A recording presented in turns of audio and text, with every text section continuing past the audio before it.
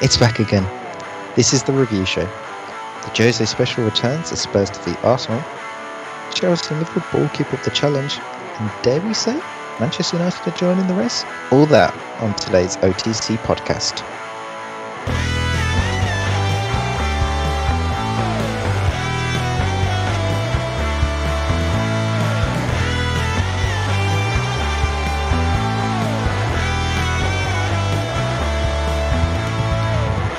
Hello and welcome back to the OTC podcast with myself, Regan Walsh, and my co-presenter Bradley Morris. How are you on this Monday morning, Brad? Oh, fuck Mondays. Agreed. But the, in in more positive news, it's nice to be back home for a change. Yes, it always is. Right, as ever, we're going to be talking our way through the weekend's action in the Premier League, have a look at any big talking points across Europe, and have a delve into the world of women's football as well, and any other business. There's only one place to start, and that is, of course, in London, where yesterday Tottenham Hotspur beat Arsenal 2 0 thanks to goal, a beautiful goal from Heung-min Son, and then a goal from Harry Kane just before the stroke of half time. I mean, what are your thoughts on the game overall, Brad? I believe this is the one we call the Jose special. Yeah, absolute Jose masterclass it was.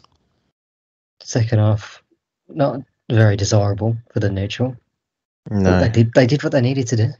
exactly. And I think that was always going to be the intention from Spurs is try and get as a goal as early on as possible as they c- could, and then they back because I think defensively they knew they were a stronger side than Arsenal's attack.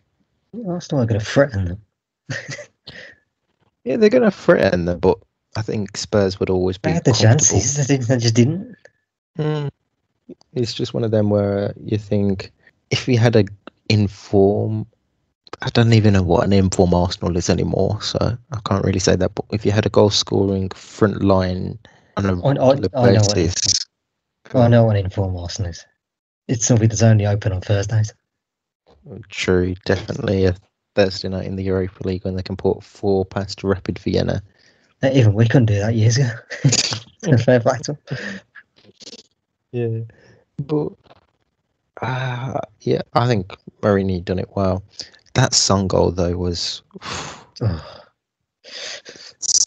just sublime. it- that man does not get talked about enough in the world class arguments. Mm.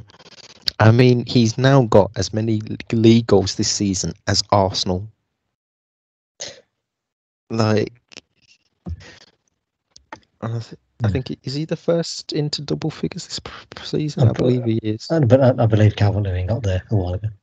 Yes, Calvert Lewin's got uh, two, uh, one more goal than him, so they are very close. But I mean, who else in, in the world of football? I'm trying to think. Um, who else has got double figures this season?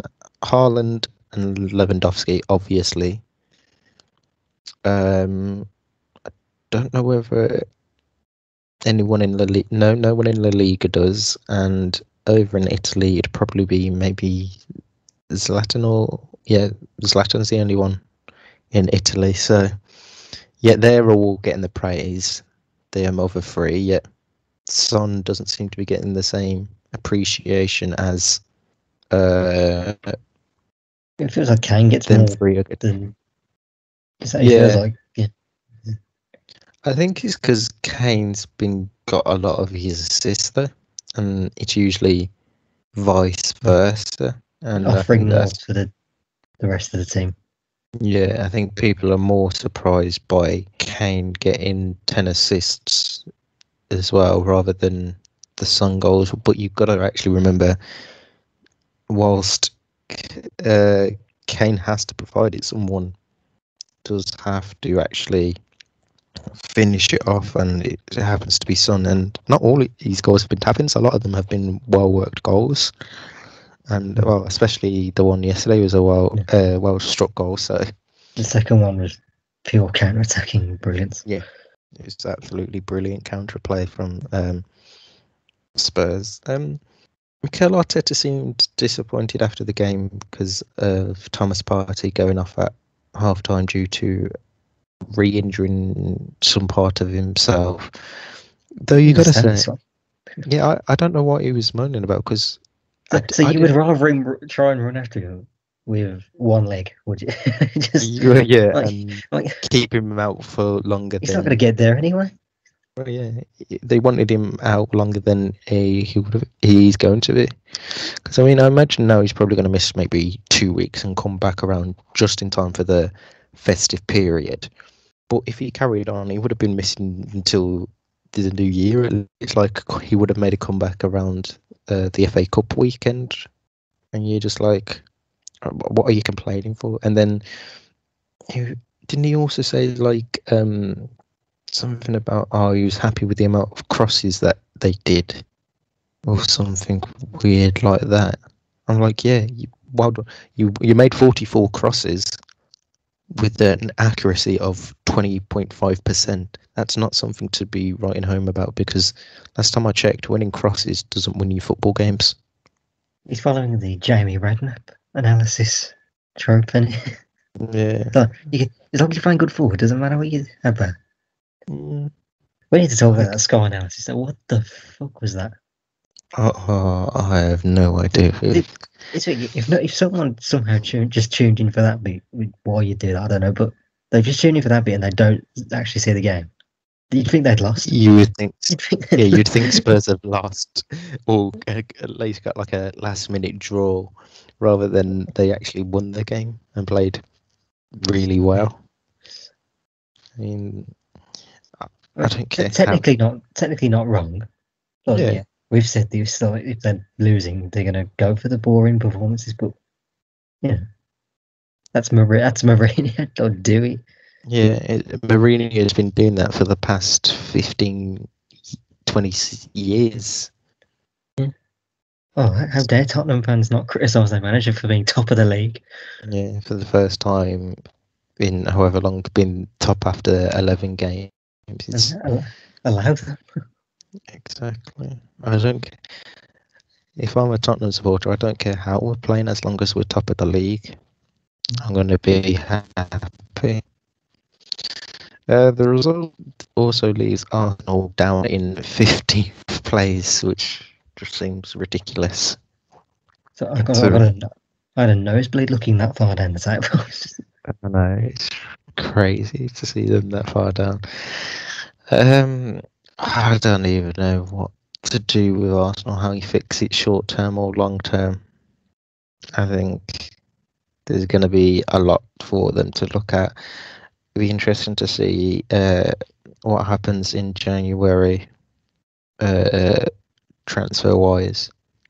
Uh, next up for both teams in the league, Spurs have another London derby. This time they'll be playing against Crystal Palace, and Arsenal host Burnley. Um, so it'd be you would expect Arsenal to get back into that one, but Sounds uh, like- we'll look. Sounds like a tough relegation six pointer. we'll get into more of that uh, in the preview show later on this week. Elsewhere in the Premier League, Liverpool put four past Wolverhampton Wanderers. Goals from Mohamed Salah, Georginio, Wijnaldum, Joel Matip, and then an own goal from Nelson Semedo gave Jurgen Klopp's side the three points. Bit of a shock score, this. Wolves were but defensively were awful. Yeah, I, I, I just I don't know what happened to him. I don't think I've seen Wolves play this bad in a long time in there. Oh, I've seen them play bad under Nuno, just saying. But but uh, it did have flashes of the the four one. Like years ago against Villa, they just capitulated defensively. Mm. I just it's a strange one for the Wolves considering how compact they have been in recent seasons in the Premier League defensively. They look like they're all they always seem to be like a hard team to beat when it comes to defensively, but Liverpool seem to make it ra- rather easy for themselves. Yeah, we could talk about Liverpool but for Wolves, it just seemed like they were missing Jimenez. Yeah. Which hopefully he continues to make a speedy recovery Mm, yeah, and is uh, back playing football as soon and safely as possible. Um, Trent made his substitute appearance in the second half, which was uh, good to see him back so early. I didn't think he'd be back No, for maybe was- another week or so. Yeah, I heard it was only a month. Yeah, he Hmm. came on and did Trent things. Yeah, uh, good performance. And then, um, gotta say, Diogo Jota as well. He did well when he came on with like uh, 14 minutes left. Uh, so uh, Liverpool stay in second place, whilst Wolves uh, slip down to 10th. it, was Um, nice- it was also just nice to see Klopp smiling. for once, It not was- having it was smart. to It was smart. The only time he's ever smiling is if he's having a pop at Chris Wilder. Mm. At least he wasn't this time. Um, elsewhere in the that's Premier probably why he was smiling. He just he just saw the Sheffield score as he left. Oh my!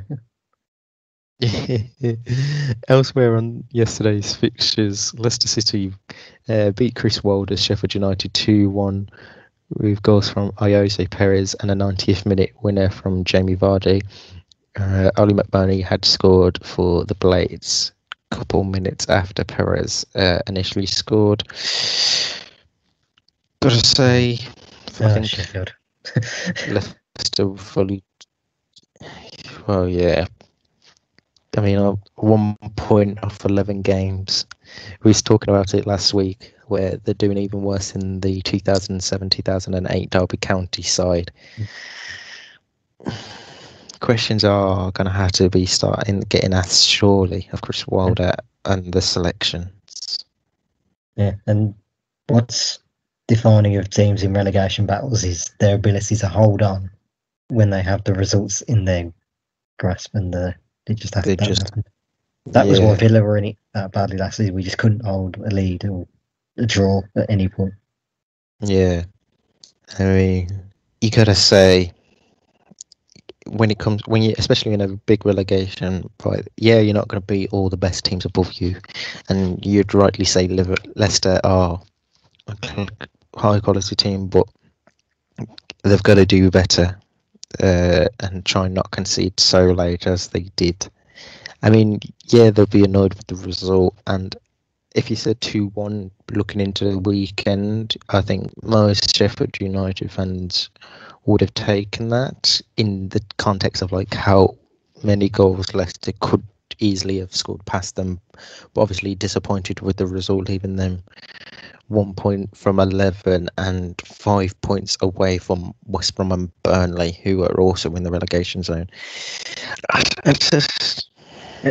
It couldn't have got much worse for them having the Sheffield Wednesday fan go and score the last minute win. Well, yeah, exactly. And I think that's one of the uh, worst things about it for them. Um, the other game on Sunday saw Crystal Palace head to the Hawthorns and absolutely destroy. Oh, well, I wonder That's what was in their half time. What was in their half time drinks?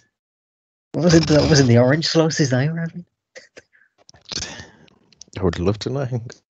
That would give me some energy on a Monday morning. That would Jesus. Four second half goals for Palace. Benteke getting a brace and Wilfred Zaha also so, so, getting yeah, a brace. repeat that. Repeat that last bit.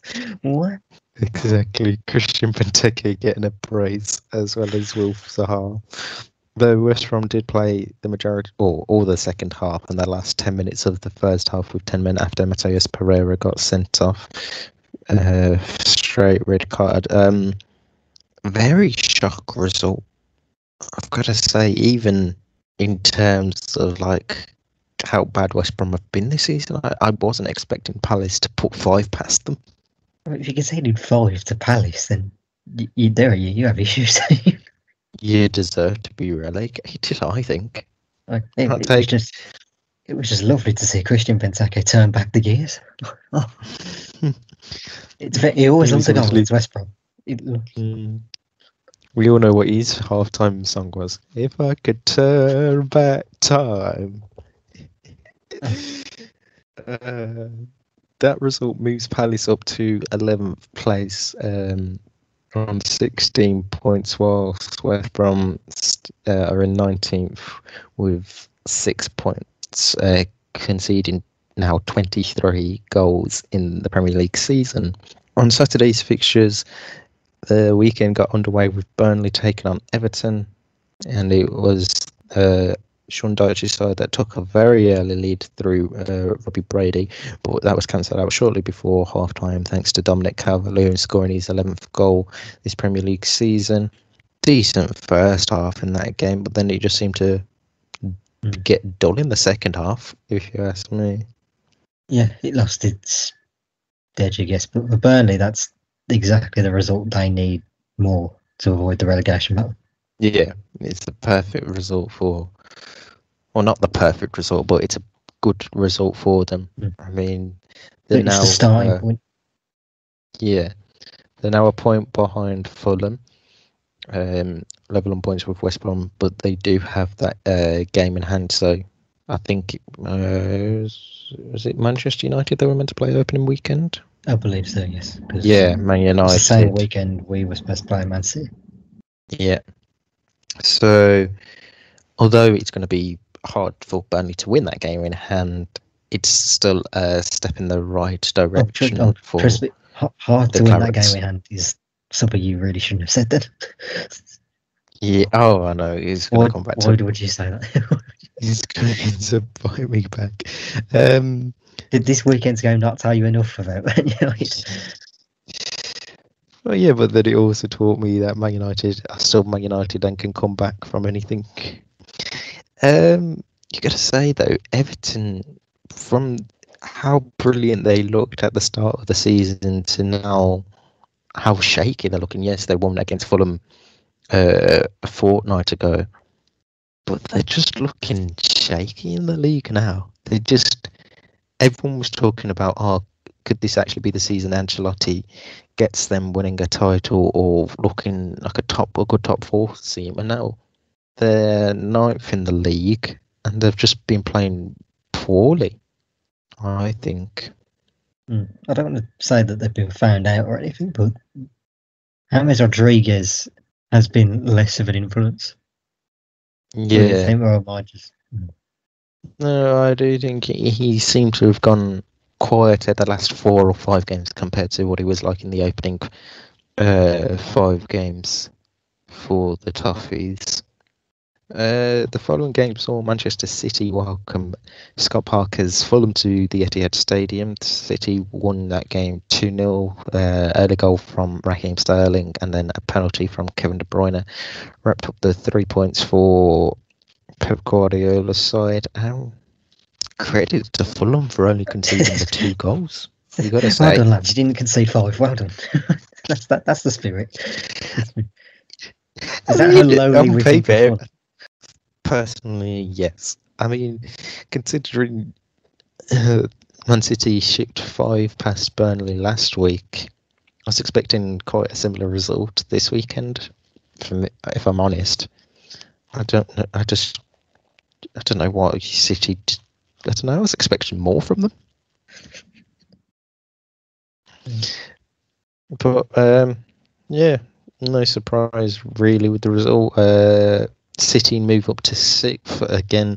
They've got a game in hand over the top four, uh, so they're on 18 points. So they could go level on points with Leicester if they win that game.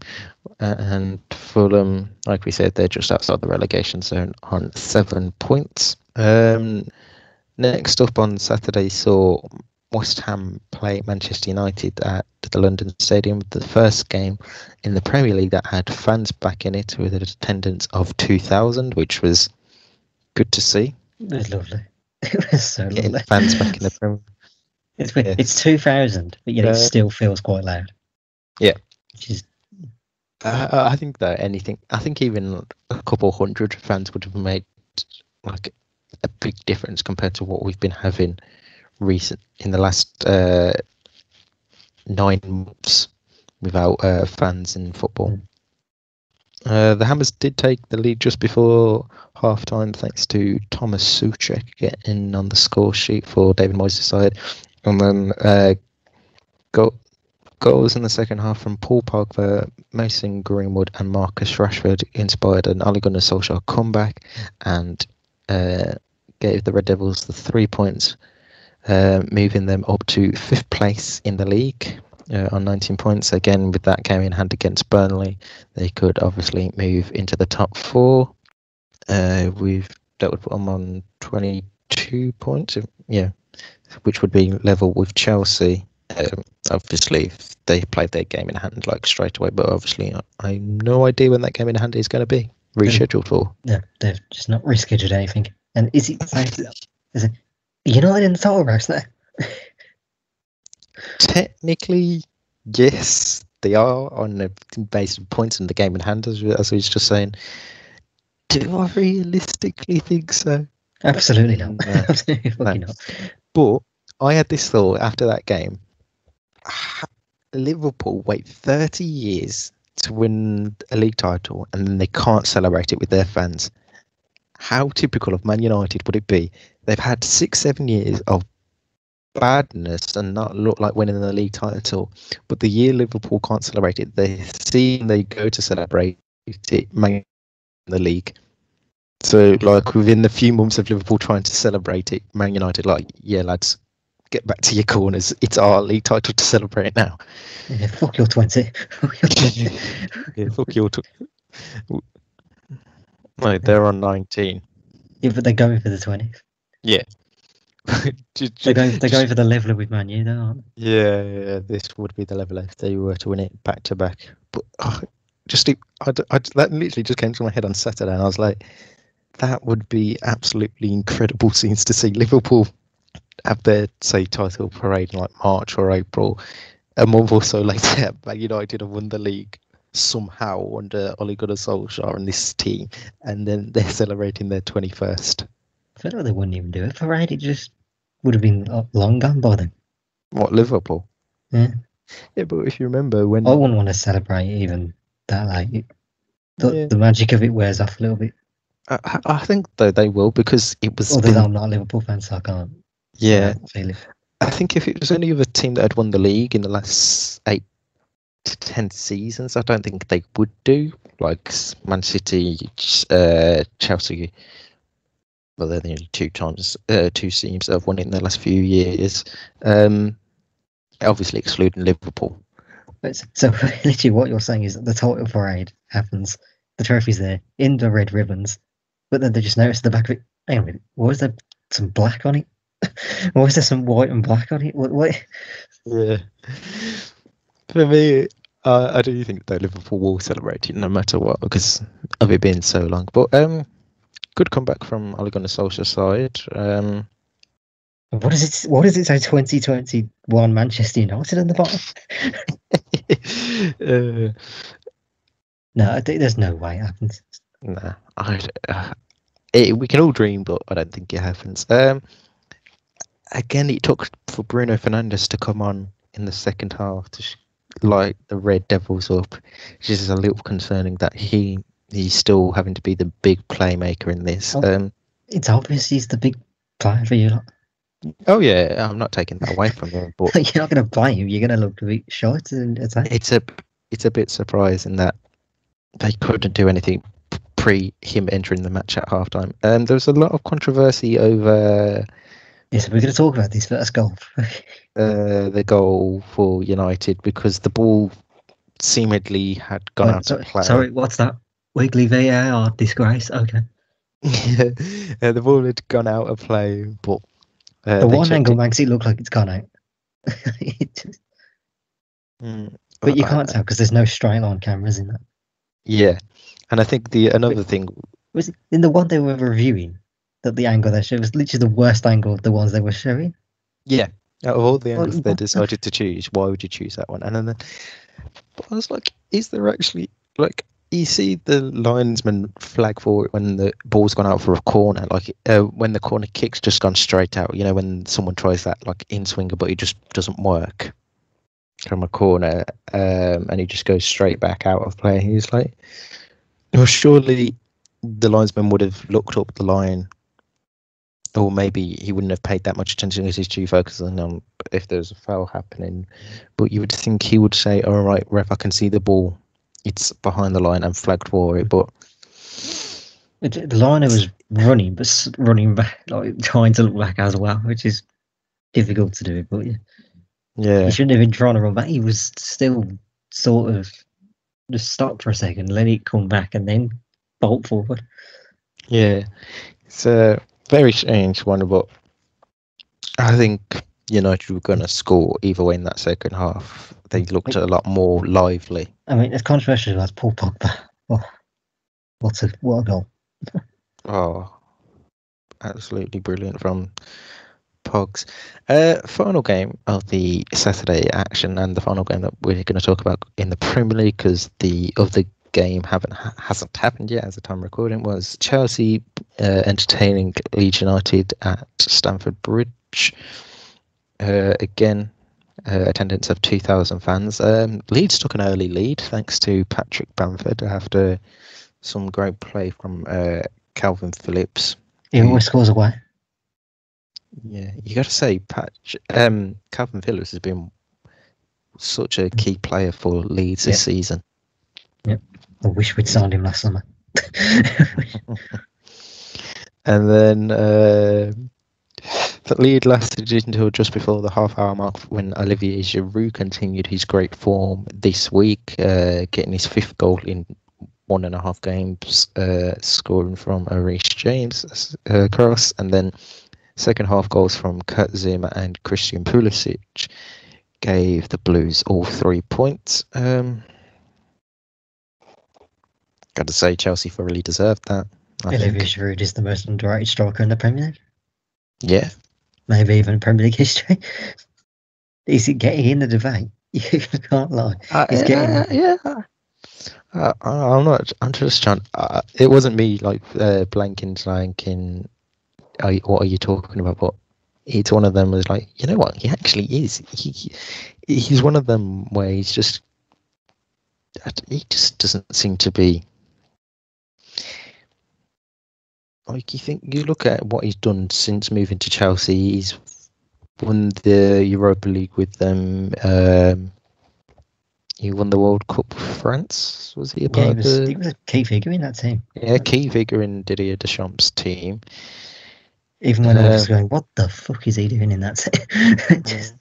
He's, I think, the third all-time top goal scorer in French history. Well, it wouldn't surprise me if he was, but yeah.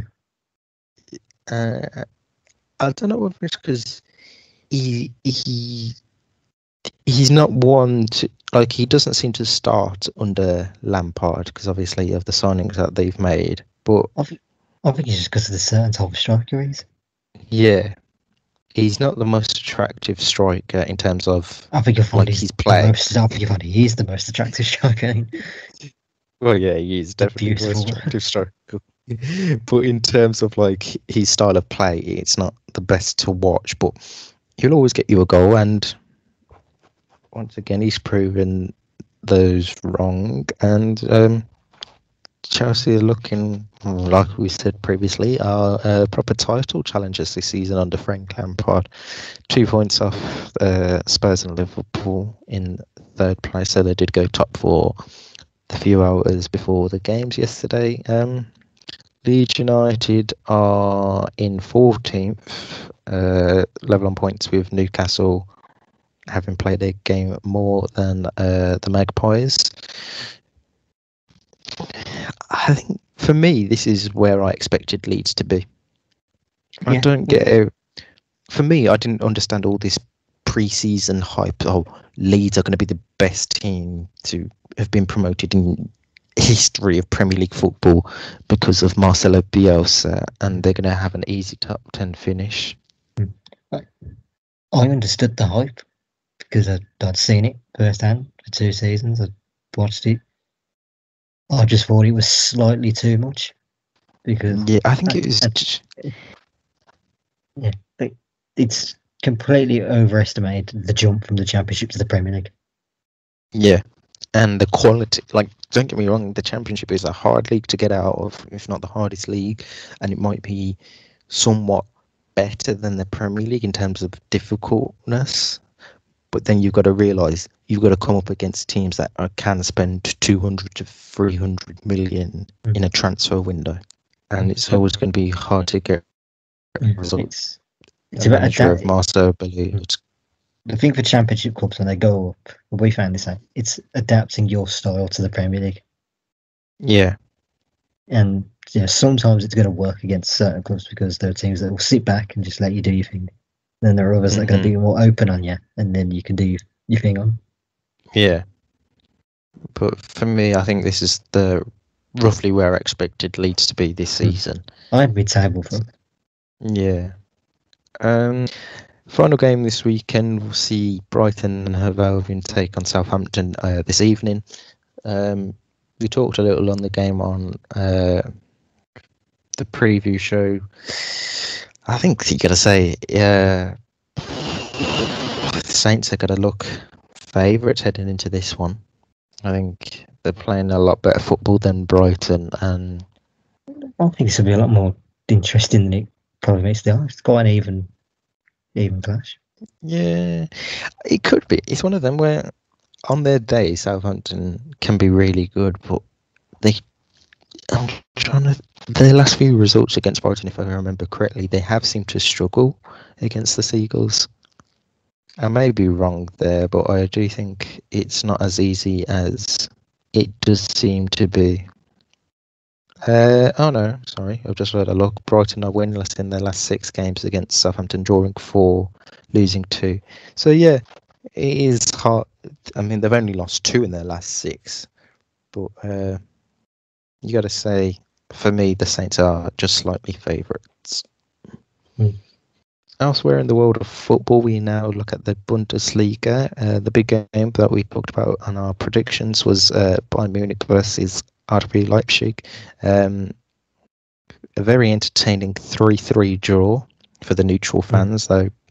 Um, Bayern are going to be disappointed. Uh, the goal scorers for Leipzig were Christopher Nkunku after 19 minutes, Justin Kluivert and Emil Forsberg were the other two goal scorers for them.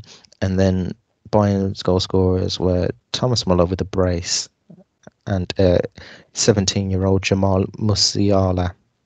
Is it English players in the Bundesliga? Another one. Again. Another- I mean, what is it with You are right, English these- players in just playing good in, in, in Germany? I think it's because they get Is it just the style? They, they just suit the style or something.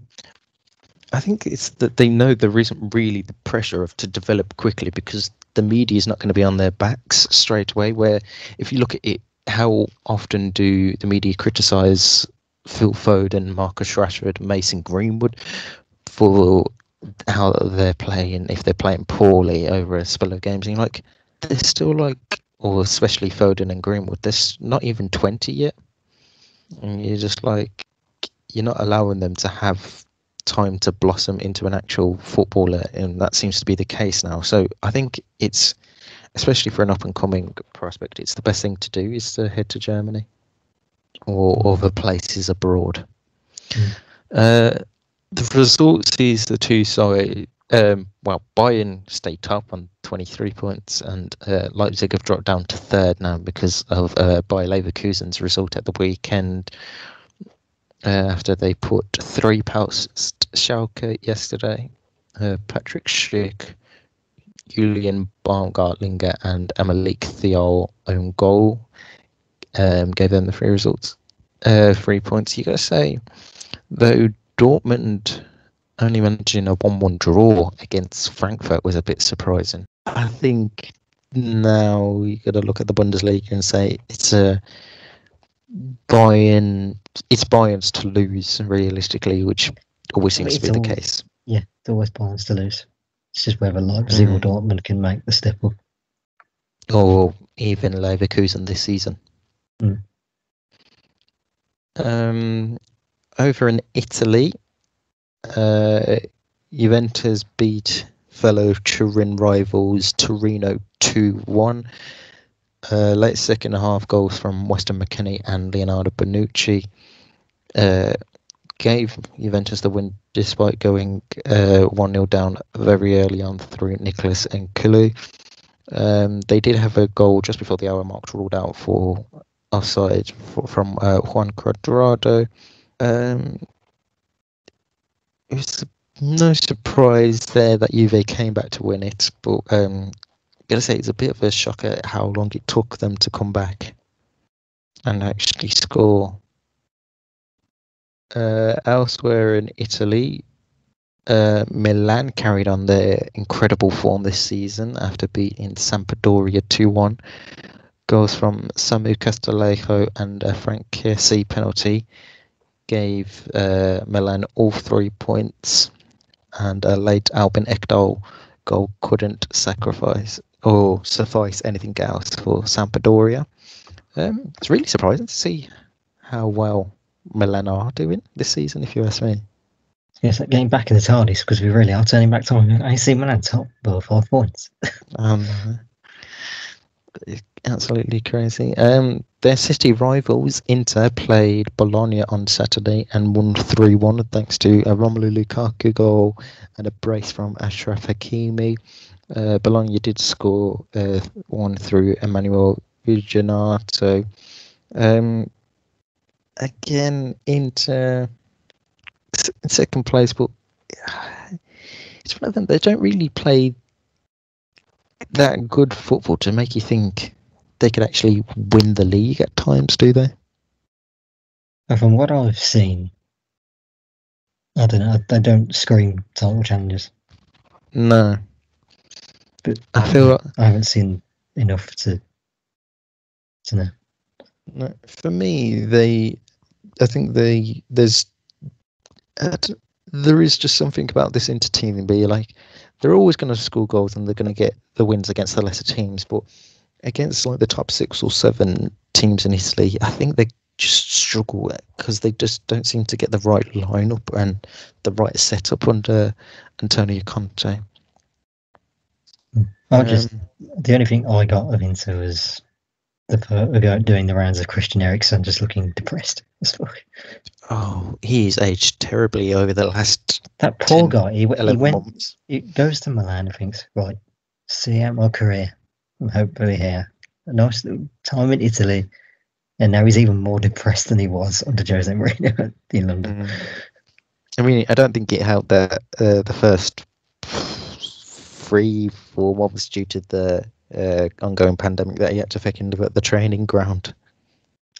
Gosh, I didn't know that one. Jesus. Yeah, he was. I remember it came out earlier uh, towards the back end of last season that he was. Was this when Italy was like, really getting Yeah, this, this is this is when Italy was like so bad, like the worst in Europe, if not the world at this stage. He, he uh, because of it being like in total lockdown, like he was staying at the training ground, so uh, he had nowhere to go.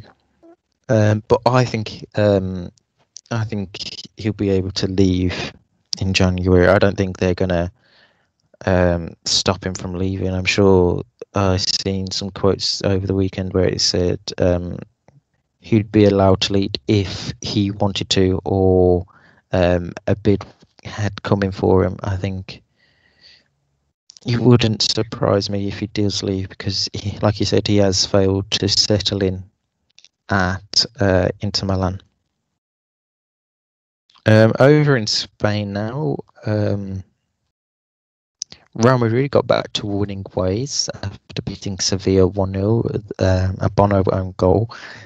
You, are you going to get a U2 joke in there? Yeah. Fair enough. the result sees Real Madrid stay. you don't get pun commentary from me, sunshine. uh, Madrid stay in fourth place, um, now on 20 points, six points off uh, the league leaders and city rivals Atletico Madrid, who have pay, played a game less than them. Sevilla dropped down to sixth place on 16 points. And the other big game on uh, Saturday, uh, so, one of the big games, saw Atletico Madrid beat Real Valladolid 2 0. Uh, Thomas Lemar and Marcos Llorente with the goals uh, for Diego Simeone's side to keep them abreast of the top of the table, leading Sevilla, uh, Real Sociedad, sorry, by uh, one point, having played two games less than them. Um, you got to say, I think it's Atletico's to throw away now this title. Is it? I mean, still think there's slightly openness to it. I don't. I still think Real Madrid are always going to be a, the challengers for it, but you know, you can't rule anything out with how it's been this season. Yeah, but I got to say, Atletico are looking solid defensively. I mean, they've only conceded two goals all season. Not too sure. Yeah, I guess. But, But like you say, anything can happen in the world of it- football. uh, you want you two jokes on this podcast? I'll fucking give you one. Oh. So obviously, Real Madrid they've been missing Cristiano Ronaldo. They've never replaced him. You could say they still haven't found what they're looking for. Thank you. About one game too late there, But as we were on to Atletico, but I will take it. Um, the surprise of the Really weekend. rep the surprise of the weekend in La Liga saw Cadiz take all three points against Barcelona. Goals from uh, Alvaro Jimenez and Alvaro Negredo um, gave Cadiz the three points, and Barcelona themselves didn't even score because it was a Pedro Alcala, Alcala with the own goal just before the hour mark. Where do we even start with Barcelona? I have nothing else to say on this club. I mean, uh, um, I'm I'm genuinely speechless. I'd, I'd, yeah, I'd, I'd, well, yeah. I We've just said all can't- that I've is got need to be said about this team. I- I don't know how you can fix it either in this short term. Like, there's no You- you quick don't fix, fix it about it. If you term. ask me. You, you take the L this season, you regroup, and you fucking have a look at everything. Every single thing needs looking at. That club Yeah. is in an awful place. It's burning from the inside out. You gotta say. But it's okay. question Xavi's the for you. he, he won't. Um, Messi, does he leave? Does he sign a pre-contract in January with either Man City or PSG, or do you think he stays with Barca? When are the presidential election things that they do? March. Yeah, he's gone. He's not even going to wait so much. He's he'll be, he'll be out there. Yeah, But now January, either he signs straight away from Man City or the pre-contract. So yeah, it wouldn't surprise me. Though, um, Neymar does obviously want to play with him again because he said to ESPN after their Champions League game, "What I want most is to play with Lionel Messi again. For sure, we have to play together next year." Don't play on FIFA then. He ain't coming to your club. no, they'd have to get rid of. Mbappe. Yeah, yeah, they'd have to get rid of uh, one of the big players if they were to, uh, what do you call it, tr- even try and afford Messi's wages because it's just not something that they'll be able to do. Um, well, yeah, I don't even know how you try and fix Barcelona in this short, um, short term or even long term at this minute in time. Um, onto a bit of transfer news because your club and my club are involved in this. There was I a mean, story. Why you yesterday- sign this? Don't start this. Loads of clubs are linked to it when you read the article. Oh, I just found it funny because it was a Uh, Jeff Lingard has been talked with a move away from Manchester United. Aston Villa being one of the destinations, and I'm just seeing now a possible loan move to uh, Real Sociedad uh, for January. Um, we're going to get a lot of rumours now as we get closer to January and the January window. I mean, that man just about makes our bench. yeah. I- think he'll go and to our bench is shite. I mean, there was even talk of. I saw one story saying he could even sign a year extending contract on United. I'm like, what? That's just not how it works over here. He's do not even getting played. Exactly. Um. Yeah, I don't see him moving to Villa. I think a move abroad will happen. Um, we've also uh, later. We all know, we all know the club that buys big teams, fringe players. That's Brighton. Well, yeah. Honestly, he, he'd start for Brighton and he'd probably do all right. Well, he he did go on uh, loan there when he was a youngster, It's perfect if I remember. So it wouldn't surprise me if Brighton um, do get sourced off as one of their uh, players. Uh, there was also talk of Man United looking at Kieran Trippier from Atletico Madrid to give Aaron Wan-Bissaka a bit of competition. I was like, yeah, there's What? about as much truth in that as uh, there is fucking me Surely- becoming the next fucking Queen of England.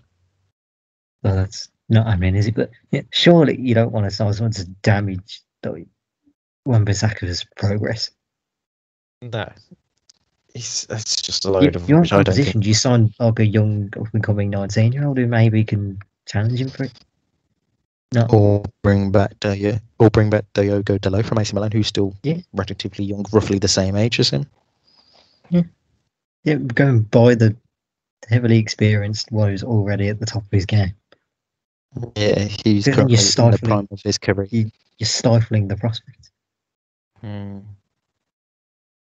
Um, bit of news that uh, the Athletic are reporting this morning, and that is uh, that Paul Terry, the brother of John, who is a uh, loan uh, manager uh, for West Bromwich Albion. Uh, so basically, what a loan manager is, he sorts out loan player moves for the youngsters uh, to move away and keeps an eye on them. Um, he's been fined one thousand pound and has been advised to seek help over his gambling after admitting two hundred and nine breaches of FA betting rules.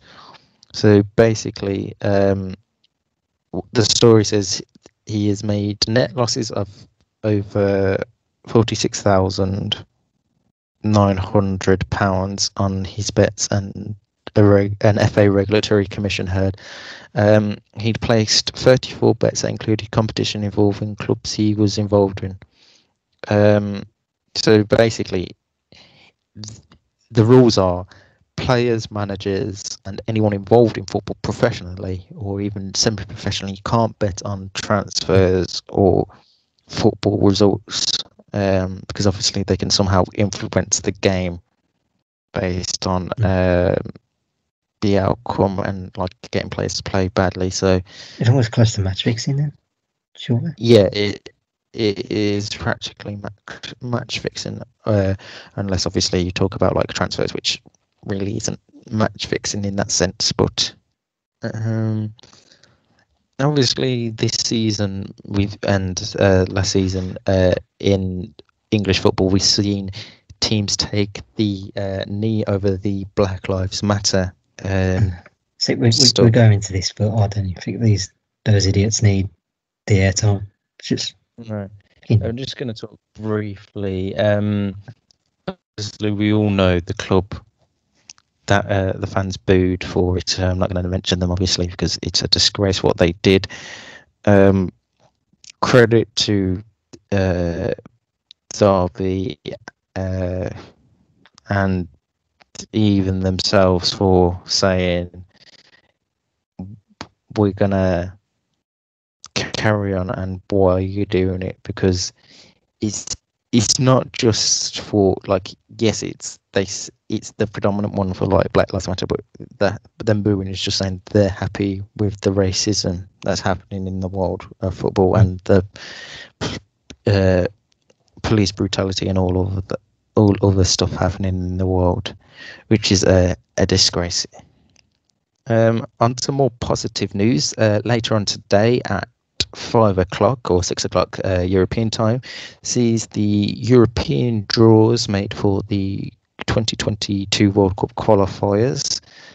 Um, it's going to be interesting to see who the teams get. Um, I can't believe they're already. I mean, yeah, it's crazy to think that we're already qualifying for the next World Cup. Hmm. I know it's normal to be qualifying like a year and a half before the tournament would start, although this one's technically two years before it starts because it's a Winter World Cup. But um, yeah, it just seems to have come round quickly. That uh, the European teams will be getting ready for the um, Winter World Cup. Uh, I th- think the majority of it's going to be done uh, the late 2021 after the Euros, and then any the last couple of games will be done early part of 2022. Well, they could even be done in the summer of 2022, as the tournament doesn't start until November that year. Uh, so Mm. that's definitely something to keep keep an eye out on. To be fair, the qualifying would make up for having the lack of a tournament in the summer of that period. Yes. So that is definitely something to watch out for. Uh, over in the Women's Premier League now, um, Manchester United beat Aston Villa 2 0. Uh, a game we both uh, talked about in our previous show for the uh, predictions. Um, although United won, thanks to goals from Leah Galton and Ella Toone. Got to say, Villa definitely had good chances to score. Should have scored. Maybe should have scored. Yeah. Although the stats would say oh, it's heavily in United's favour, Villa definitely had chances and could have scored themselves. I think a 2 0 result is something they would take. Uh, the result leaves United top of the table, still unbeaten in the league this season. Whilst Aston Villa uh, are second bottom after other results. Um, elsewhere, Ch- How many teams get relegated? Chelsea. Uh, God, I think it is two, if I remember correctly now.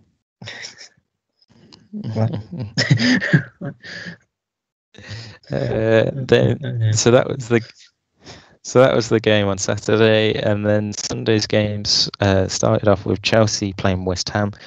Uh, a Sam Kerr hat trick gave three points to them.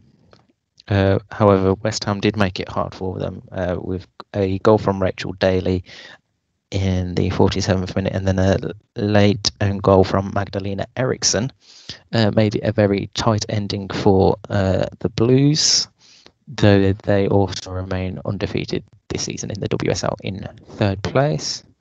Um, Reading and Bristol City played out a 1 1 draw. Uh, goals from Emma Bissell scoring her first uh, goal for Bristol City in the league this season, and uh, Fara Williams' goal shortly after half time uh, made the points shared there. So Reading are now into sixth, whilst Bristol City remain bottom, still winless this season. Spur, Tottenham Hotspur got their first win of the season, beating Brighton and Hove Albion 3 1. Kerys Harrop, Angelina Addison, and a penalty from Alex Morgan gave Tottenham their first win under new manager Rehanne Skinner. Although uh, Brighton did score a penalty themselves through Dutch one uh, Inessa Kaagman. Though it's a very good result for Spurs, and maybe things are starting to look up for them. Uh, result moves them up to ninth place, two points behind Brighton. Um, Arsenal put three past Birmingham City, goals from Caitlin Foord, Jill Roord, and a penalty from Kim Little. Gave Joe Montemurro's side the three points. Um, I think Arsenal should have scored more in that game. Um, I think they'll be disappointed to have not scored more. Um, they did have a penalty early on in the game that Kim Little uh, took, and it was saved by Hannah Hampton in uh, goal for Birmingham City. Um, result leaves Arsenal in second place, a point behind Manchester United. Um, they looked, like I said, they looked promising at all game Arsenal, though I think they will be a little bit disappointed that they didn't score more. And then the final game in the WSL saw Everton play Manchester City, and it was uh, the away side that won at 3 0 thanks to goals from Ellen White, Gemma Bonner, and Janine Beckie.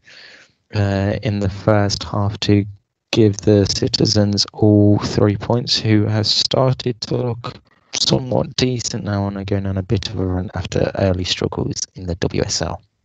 Uh, right, it's over to you, Brad, for your segments for the remainder of the show. Oh, and that divinely prove that we are a real podcast. I have now come up with a snappy jingle. Brace yourself. Oh, he missed it! I do not believe what I've just seen! Very interesting! Oh! Something weird is going on.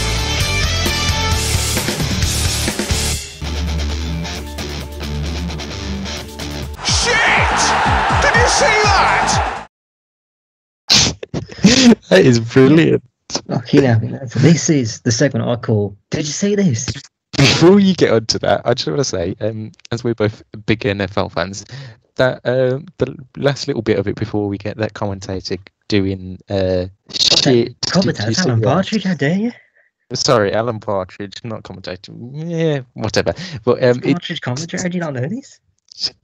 Yes, it could have easily passed for one of the BBC Match of the Day commentators. Obviously, they wouldn't have said shit live on air. But you got to tell me, I think uh, the last four or five, three or four seconds before he does that last bit, tell me that doesn't sound like the start of um, NFL Red Zone or something from NFL Red Zone.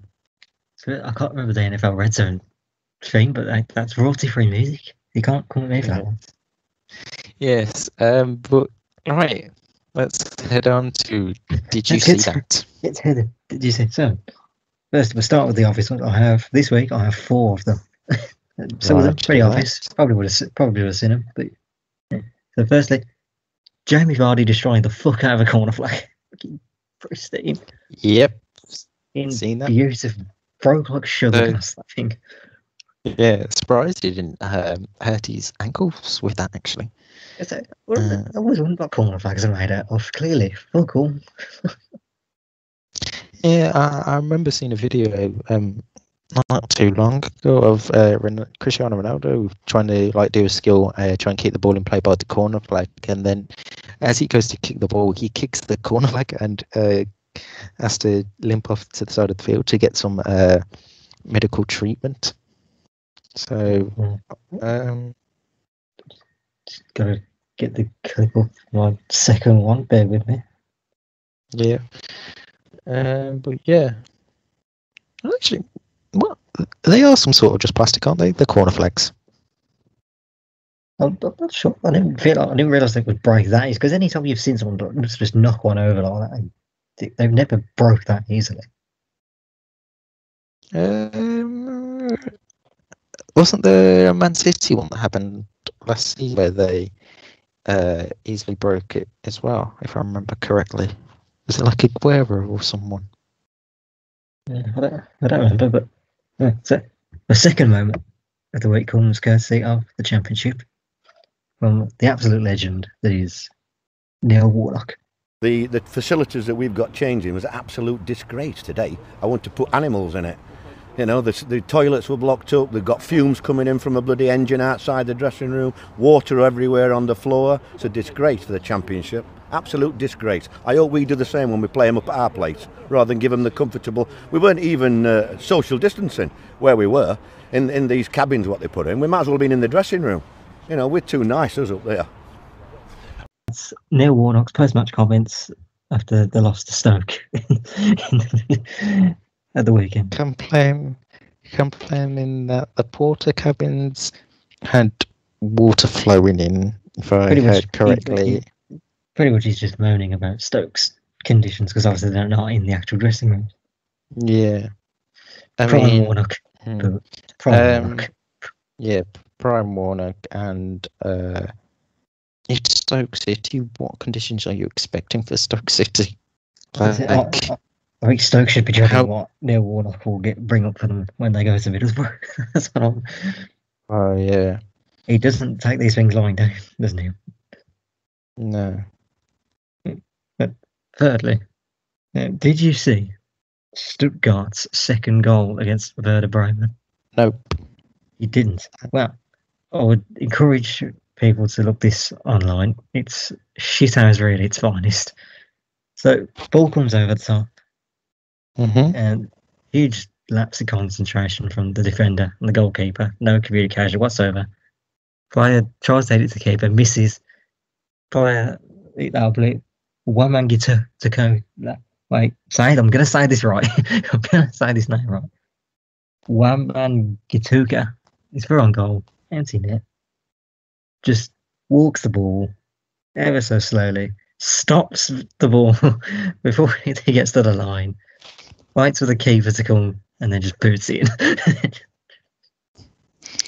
Absolute top class shithousery. That's- And I've just, What's even better, yeah, the, the Brahman Blight, is it Davy Selke was clearly very visibly angry at him, almost start to brawl with him.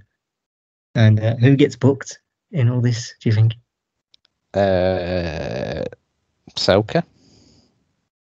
I believe he didn't get a single booking, but Wamangituka did get booked Uh, for the for the for uh, the gist- for the.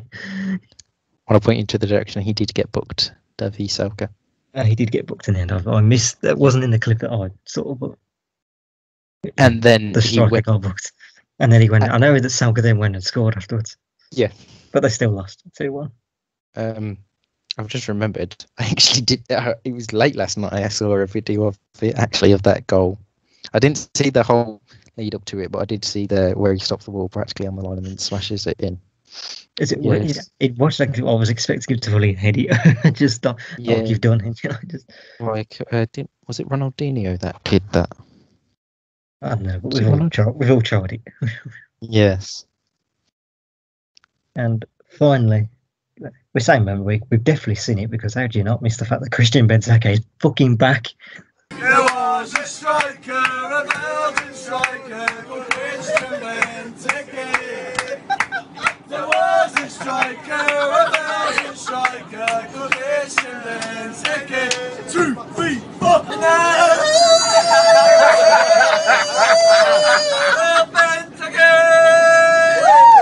Oh, what a hero!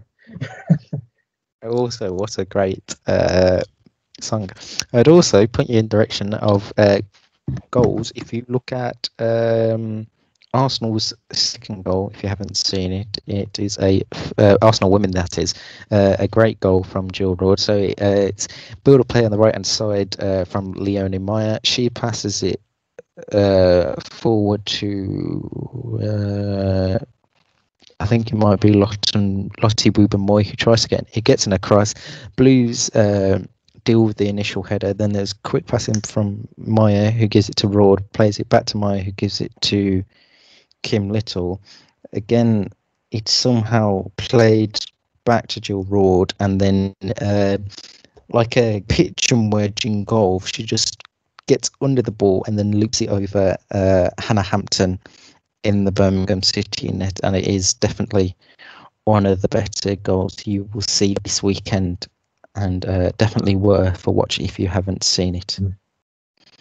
Um, any other news that you can think of before we wrap up the weekend? Um, Nothing is coming to mind.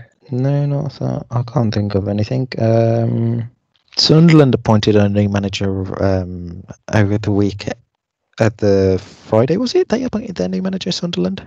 The I think ninth manager in five years. yes, Um, well, Lee, Lee Johnson, the man who criticised Aston Villa because we position the away fans in the corner. Yes. I'm sorry, Lee. We must think of those away fans. Oh, wh- wh- I don't understand what he's on about there because aren't most away fans in corners? it's- Like if you, the only if team I the away fans were that behind the goal, we would have won. The only away fans that I can think of that aren't in like a corner is um Bournemouth because they're at the side of the pitch, if I remember correctly. When, when I said the corner, that's what I meant. Pretty much the side or Yeah, I meant. But I mean- but there aren't many behind, not directly behind the goal. no, just slightly off centre to it. Yeah, Liverpool technically, just they're just off centre, but uh, Off centre. actually West Brom, they're away. slightly off centre. Off trying to- centre. I don't know, but- yeah, West Brom, we're all they're trying to off centre. Yeah, there. I don't think there is a team that are take up a, like the whole thing behind the goal directly. They're usually just off centre. I don't remember it used to be being like that. Villa Park, the away fans always had the lower north. Mm. Uh, that is all we have time for this week. Um, we'll be back on. Well, we record it on a Thursday, though it'll be out on Friday for uh, our preview show where we'll be looking at this weekend's fixtures in the Premier League. Um, the one game we already spoke about, obviously, being uh, Arsenal versus Burnley. We have a lot of other big games coming up this weekend. Some very interesting ones. I'm just having a quick look at it. Blooming Nora. Saturday, we might as well call Derby Day. You dare call our game of Wolves a derby? Mm, it's still both It's a derby to them. It's a it's the biggest game of their lives. Oh yeah, yeah, yeah. It's, We I mean, couldn't- obviously we also we all know yours is the St Trillian Trophies Stadium derby. And then there's obviously the Manchester Derby later on in the day, but we'll get onto that later on in the week. Uh, we'll also have a brief look at the Champions League, see if Man United can qualify from their group, if Real Madrid can qualify from their group, if Atletico Madrid can qualify from their group, and any other news that happens in between now and then. Um, again, if you're listening on YouTube, make sure you leave a like, comment, and subscribe, and make sure you're subscribed to us wherever you're listening to our podcasts. Make sure you are following us on Twitter and check out our website as well. And until uh, later on this week, it's goodbye from me and goodbye from Brad. Yeah. Just one last thing. Give the give the pod a like. Yeah, this poor kid needs a birthday gift. Oh, yes. Thank you. He's trying to keep that fucking quiet, old shit. Like, Uh, It's nothing special. It's only 22. exactly. Sure. Hey, Taylor Swift never thought it was that. Yeah, well, that's Taylor Swift. More I'm more music. than Oh, Julie is about to stop playing. That song goes to the outro though. Right. Uh, thanks for joining us this week, and we'll be back later on and have a look at the Yeah, see ya. league features and see you soon.